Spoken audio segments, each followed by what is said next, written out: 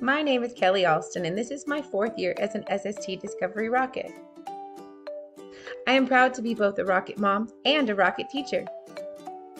I love being a part of the SST community, not only because we celebrate diversity, and not only because we help the community, it's because of things like this. Yes, it's a bunch of shoes, but if you notice, it's only one of each kind. This was caring and teamwork in action in my kindergarten classroom.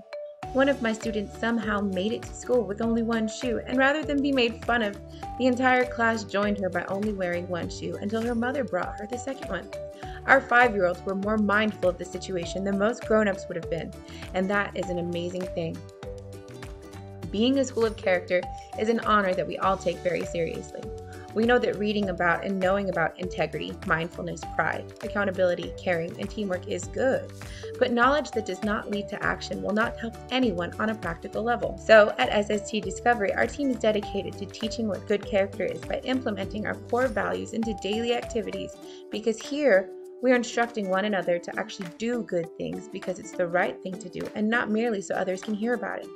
Our belief is that no one will believe us if we simply tell them we are the best. But if we show them through the use of our good character, then that is an entirely different story. I am honored to be a part of this character education mission as both an educator and a mother.